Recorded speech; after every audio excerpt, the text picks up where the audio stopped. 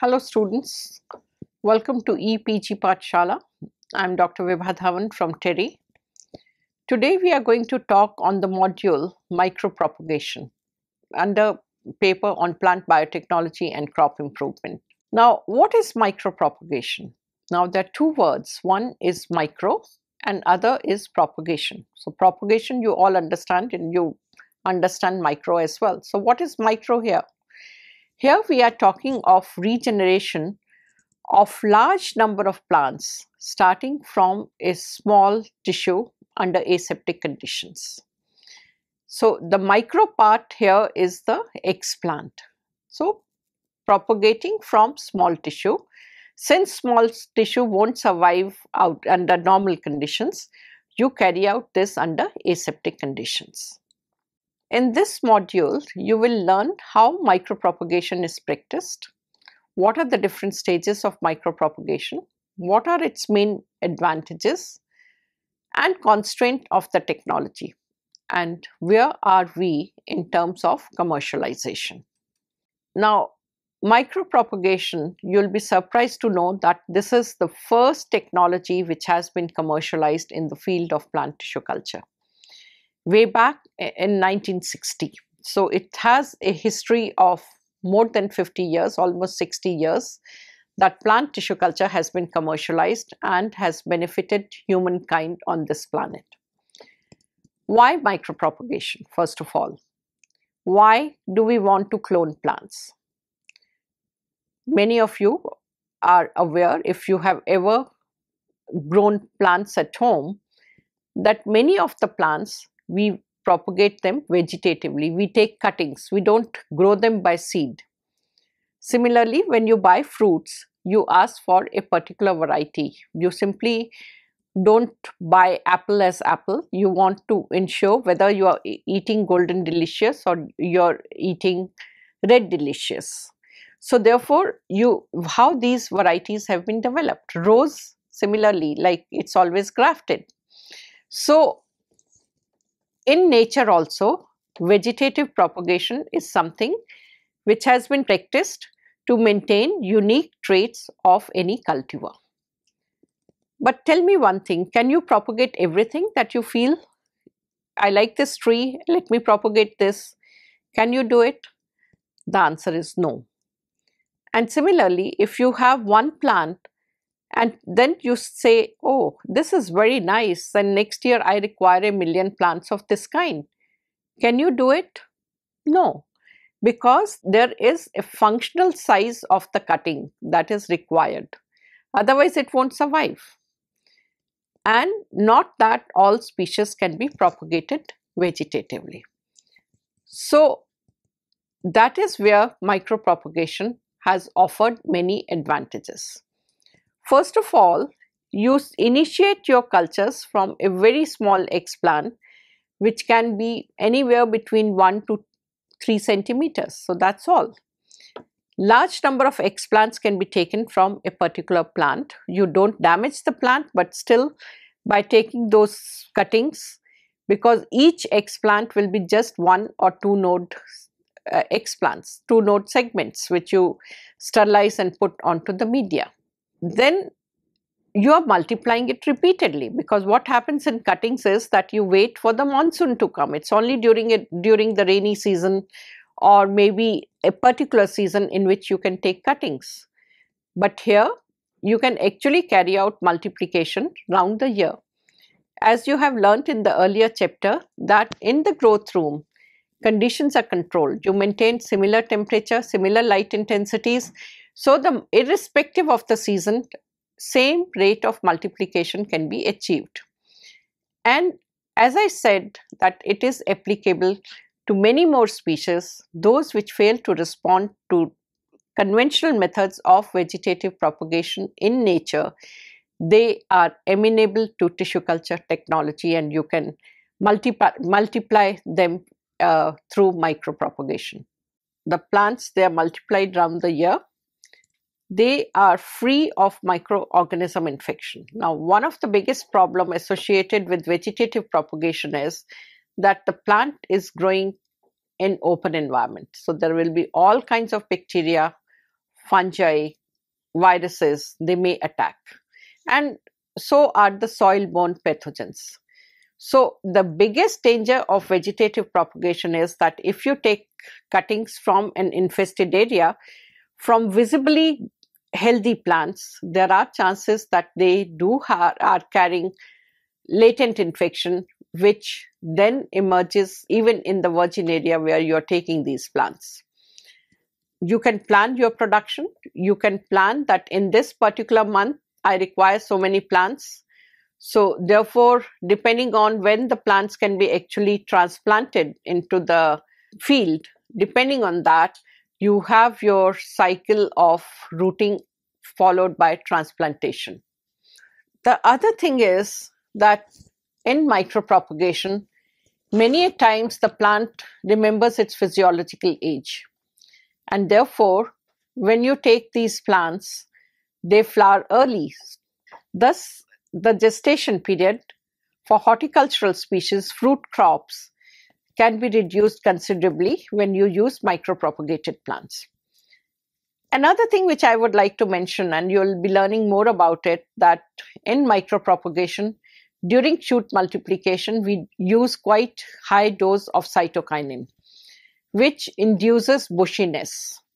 Therefore, which becomes a desirable trait in many of the species and you can go for high density plantation with comparatively lower heights, thus going for higher yields. Micropropagation is a well-defined multi-step process. Broadly, it comprises of five steps and each set his own set of requirements. Stage zero, so of course this is a step which was introduced later and therefore we are calling as stage zero, that is the preparatory stage to provide quality explants. Stage 1 is establishment of aseptic cultures. Stage 2 is multiplication. And stage 2 is what is repetitive because you carry out repeated cycles of multiplication till you reach a certain level or level required number of plants. Stage 3 is rooting of in vitro form shoots it can again be in vitro or it can be carried out outside. And stage four is transfer of plants to greenhouse or field conditions. Stage zero is the preparatory stage. Contamination is one of the most serious problem for establishment of aseptic cultures. And as I have said earlier, the plants are growing in natural environment. They are exposed to all kinds of microorganisms all the time the contamination load may vary from season to season, but usually the growth period when the plant grows well and you can actually collect the explant, now that season is also good for the microbial growth. Like monsoon, it's good time for collecting the explants, but it's also good time for microbes to grow. Thus, it becomes extremely important for us to take care of the mother plant uh, hygiene of the mother plant from where we are going to collect these explants. Most often, plants which are growing in the greenhouse, they give higher percentage of aseptic cultures. But that's always not possible for you to collect explants from plants growing in the greenhouse. You cannot bring a 30 year old tree growing in the forest and to grow in a greenhouse condition you can definitely multiply that you, if it can be done vegetatively you can make a cutting and then bring it but it's not always possible and so many times you are bound to collect material from field grown material so therefore you there are certain procedures which have been developed what will you do you want to keep the bacterial load low you spray with chemicals which ensures that bacteria doesn't grow. Similarly, you spray fungicides. You cover it with polythene sleeves, loosely cover them with them. So it's not directly exposed to the microbial uh, contaminants. So that is how you prepare your explant. Many times it's also, as I said, that as the tree in, gains in age, it loses its regeneration potential. So if you have to start from a adult tree which is not responding to tissue culture, then you cut the stump and you take the coppice. So that's even for cutting method also that has been practiced and it's very successful for raising uh, aseptic cultures.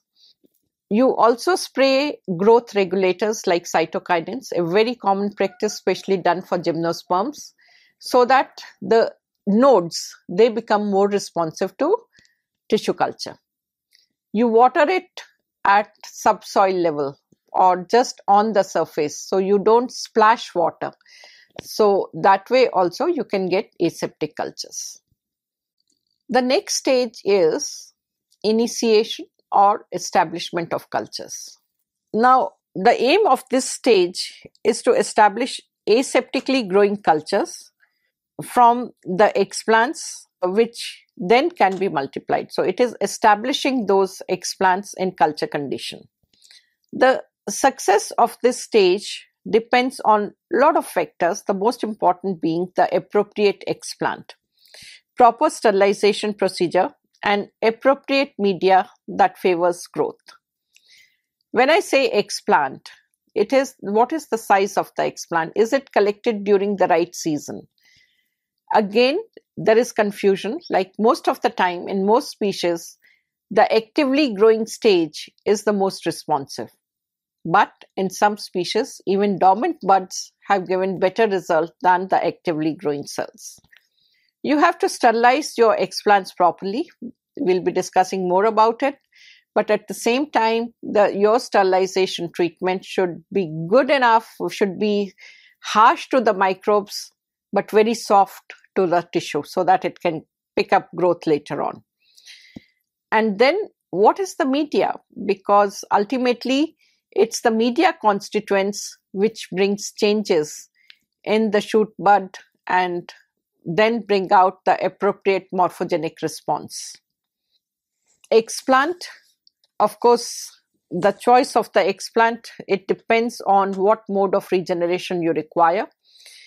If your objective is cloning, then of course you start with the meristematic buds, which is present in the apical zone as well as in each of the node. But if your objective is different, if it is in terms of getting large number of plants, then uh, you can also try leaf for adventitious budding. And if it is through callusing, then again it can be any explant. So it depends on what is your ultimate objective. When your objective is virus elimination, then of course you start with the meristematic dome and that is where you use microscope because it's just the sub-millimeter meristematic tissue which is to be used. So once the cultures are initiated and depending on the explant, it will follow different routes of multiplication. There are three different methods one through callusing, the other one adventitious bud formation, and third axillary branching. Now, when we start from callus, there are two methods, two modes which are followed. One is through somatic embryogenesis and the other one is shoot bud regeneration. So over there by changing, first of all, you start with a differentiated mass of cells and thereafter you make it de-differentiate, have callus formation and through interplay of growth regulators you can induce either shoot buds or somatic embryogenesis. I'm not going to discuss more about it because there are two other topics which will be discussed, one on organogenesis, another one on um, somatic embryos. So there you will learn the technology as a whole, uh, practices which are followed and so on. Now coming to the next method which is adventitious bud formation. What is it? Adventitious bud formation is that you get shoot formation from any other organ than the node. So it is adventitiously formed. Something which is common in nature as well. You must have seen begonia plants throwing shoots from all sides, spider plant, again from the leaf end, another bunch of leaves appear and roots from the other side of it. So adventitious budding does happen in nature as well. in tissue culture what we are doing, we are inducing adventitious budding in far many species than what happens in nature and at the same time the number of buds which are originating is manifold. And these buds, these leaves again can be separated and again put for further adventitious budding. The beauty of this process is that the plants are usually clonally uniform. Large number of plants can be produced. You don't injure the mother plant at all because you are just starting from a leaf portion. So large number of plants can be originated can be made starting from a very small explant and they are true to type, true to the mother plant. The most common method used in micropropagation is forced axillary branching. Now, let me ask you, have you ever observed how hedge is formed? Why plants grow straight? And of course, branches do appear, but they have limited growth. And the plant keeps on growing tall and tall. And many a times when the tip get injured you may have two branches taking the lead. Now the common observation when the hedge is formed what do you do? You damage the tips. The gardener they just keep on trimming the tips and the side branches keeps on coming if you observe plants carefully, you will find that in the axil of each leaf, there is a small bud present which remains suppressed. So there is a strong apical dominance which does not let these buds to grow. But when this tip gets injured or you remove it physically, then these branches, the axillary shoots, they start sprouting, they start coming up. Again, one of them starts taking the lead and the other again gets suppressed. So that is what happens in nature. Now, what happens in tissue culture is that you know that each in the axil of each leaf a small bud is present. So therefore, you take a single node segment, you put it on a media and then make it grow. What you are doing, you are removing the top, apical dominance is removed, and then you are manipulating the growth regulators in the media so that these axillary shoots start developing. Of course, in the chapter on media constituents, you have learned that cytokinins favor shoot formation and auxins favor root formation. It's not that you only have to add cytokinin in the media, because ultimately it depends on what is the endogenous level of cytokinin and auxin in the explant tissue as well. So sometimes you only add a cytokinin, sometimes you add a combination of two cytokinins, sometimes you add cytokinin and auxin and so on. So that is where you have to define the media, whether it requires high salt concentration, low salt concentration, so based on that, you develop the media and you make these axillary branches grow. And the presence, continuous presence of cytokinin in the media that makes even on this shoot the axillary bud sprout. So usually you have a cluster formation. Many a times it's also that the cluster is not formed the apical dominance in those species again is so great that it does not let the axillaries grow again. So again over there the procedure for micropropagation is that you chop it into single node explants again, take it to the fresh media. So this cycle of shoot multiplication can be multiplied n number of times. It's indefinite really speaking. But most tissue culture labs they prefer to initiate fresh cultures every year. One of the reasons is that any number of precautions that you might be taking, there can be off types and you don't want to multiply it indefinitely. You don't want very large number of plants of off type. The other is that they do lose potential regeneration, they become weaker and weaker and thus it is advisable. But there are some species like banana which are very sensitive and there you must stop after 7 subcultures. The duration of subculture again needs to be decided. The cultures must be carefully observed and you also have to calculate because your culture may keep on growing say up to 6 weeks, 7 weeks but the growth potential, growth, overall growth keeps on declining and therefore you decide on when should I stop, when it is more profitable for me. How will I get larger number of plants? Should I stop after three weeks? Should I stop after four weeks? Should I stop after five weeks? So that is what you do an anal analysis. What is the manpower cost? What is the labor cost? What is the cost of keeping culture in the growth room? So if after three weeks I'm getting threefold, after six weeks I'm getting fivefold, but then or six weeks I'm getting five fold your culture is still growing. But if I have done subculturing after three weeks, my threefold then becomes three into three ninefold. But if I let it on the same media, it's only fivefold. So during shoot multiplication, there is continuous presence of cytokinin in the media. This cytokinin is suppressing rooting. This cytokinin is also suppressing internodal growth. So the shoots, they are stunted. For many species, this is perfectly alright because once you take them to the rooting media, while they are rooting, they also gain in length.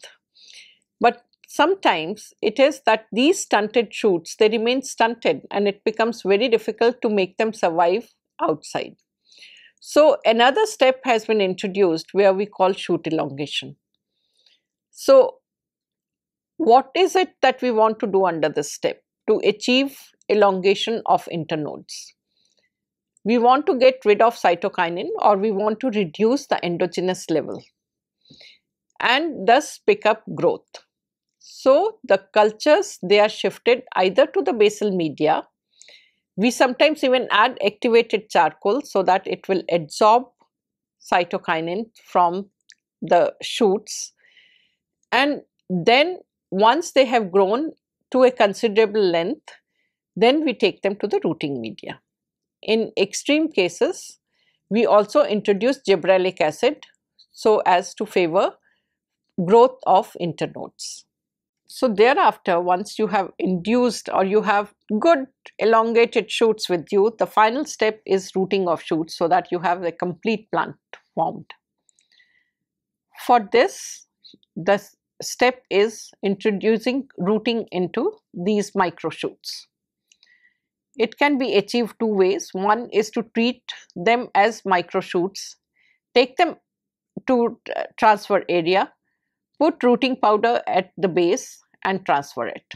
Of course, there is another technology available what we call as pulse technology where you dip them in very high concentration of auxin for 5 minutes, 10 minutes and so on and then transfer them to the potting mix.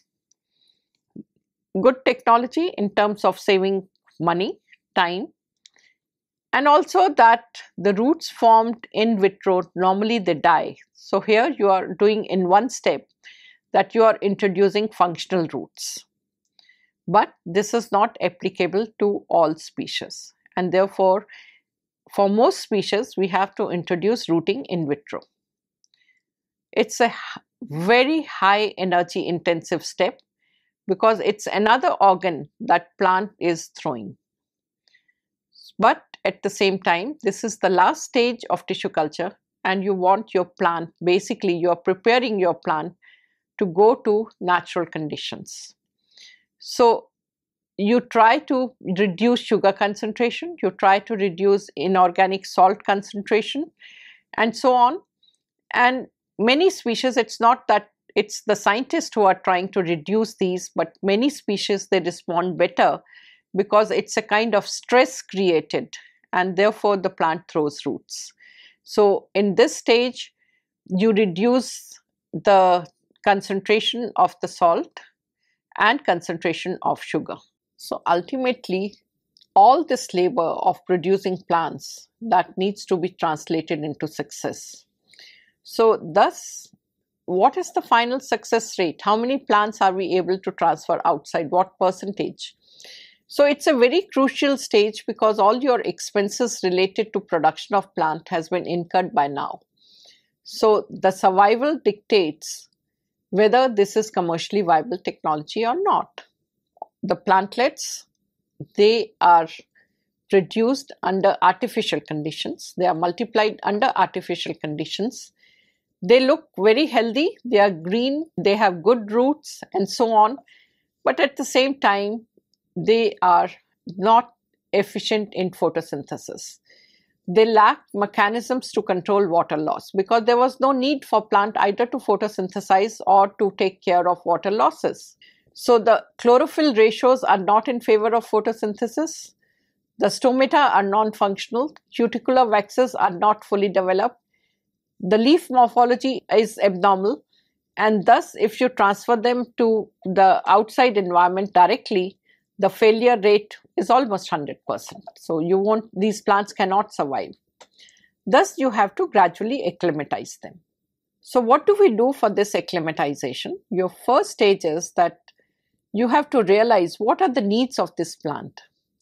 So what you do is you transfer them to greenhouse, which is nothing but simple fan and pad arrangement, something similar to the desert cooler that you have at home.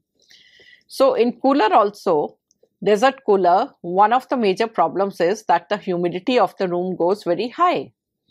But we require that for the plant. So what we do is we keep it in the that end of the greenhouse which is closer to the pad and then you move from that end to the other end and this journey can take almost two weeks. So during these two weeks, the plants, the functional stomata starts developing, cuticular waxes start developing, the leaf morphology becomes more normal, the lateral roots appear or the roots which are formed in vitro, they are get replaced by the new roots which are formed and then they can be taken out.